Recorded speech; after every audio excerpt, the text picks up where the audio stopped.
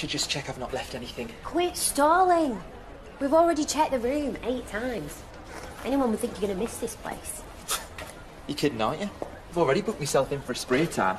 Never been more excited about getting into a pair of paper pants. And these cuticles, well, they are seriously neglected.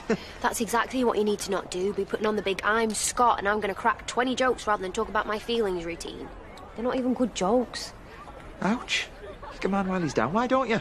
But it's honest. And that's what you need to be. No offence, but I do not want to see you back in here. Yeah, but what if it's all a bit too soon? Maybe we should have a few more day passes first. Who's the doctor here, me or you? You're going home, Dorothy. But you have to be honest. No more pretending everything's okay, trying to smile your way through it. Look, from now on, it'll be full disclosure from here on in. Promise. Good. So you're ready to go home then?